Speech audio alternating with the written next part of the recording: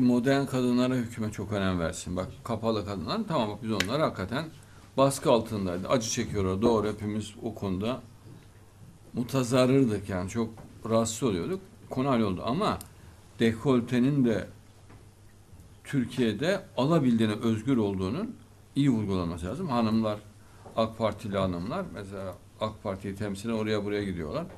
Yok niye saçları boyalıymış, niye bakımlılarmış, sana ne? Sana ne? Ne kadar güzel.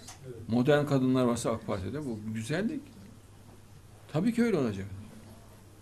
E, Daha da teşvik etsinler AK Parti'de. Yani modern hanımlar çok olsun. İnşallah. Yani bildiğin Avrupa'yı bir parti olsun. Modern bir parti olsun.